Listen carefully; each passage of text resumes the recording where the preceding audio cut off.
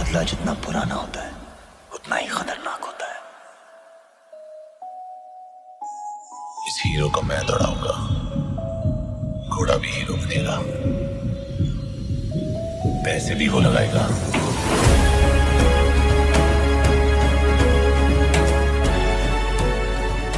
सलमान किससे भिड़े? इस बात पर आया सलमान को गुस्सा?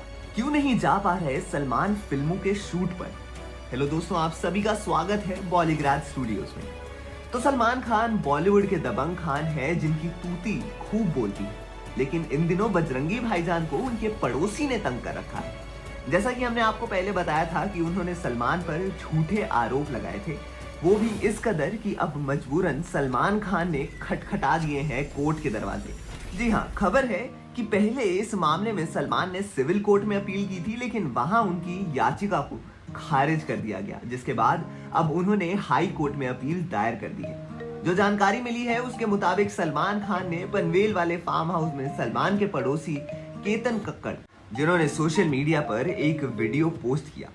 सलमान की माने तो इस वीडियो में जो कंटेंट है, वो कम्युनल हारमोनी को मिटा सकता है। इसके अलावा वीडियो में कुछ ऐसी बातें कही गई हैं, जिससे सलमान काफ़ी आहत भी हुए हैं। लिहाजा उन्होंने मानहानि का केस केतन कक्कड़ के खिलाफ दर्ज करवाया है। पहले ये अपील सिविल कोर्ट में दर्ज की गई थी, लेकिन कोर्ट ने याचिका रिजेक्ट कर दी थी। अब इस मामले में 22 अगस्त को सुनवाई होगी। आपको बता दें, इस वजह से सलमान परेशान है। इसके कारण वो अपनी फ़िल्मों की शूट पर भी नहीं जा पा रहे हैं। बताते चले कि सलमान जल्द ही रेस फोर के लिए तैयारियाँ शुरू करने वाले हैं। इस फ़िल्म की स्क्रिप्ट पर अभी काम चल रहा है। वैसे आपके क्या विचार हैं इस केस के बारे में? हमें कमेंट सेक्शन में ज़रूर बताएँ और हाँ आपके लिए खास चीज़ अगर आप भी सिनेमा के साथ जुड़ना चाहते हैं और काम करना चाहते हैं तो डिस्क्रिप्शन बॉक्स में दिए हुए जॉब लिंक पर क्लिक करें और इस अपॉर्चुनिटी का भरपूर फ़ायदा उठाएँ। तब तक के लिए देखते रहिए हमारा चैनल बॉलीग्राथ स्टूडियोज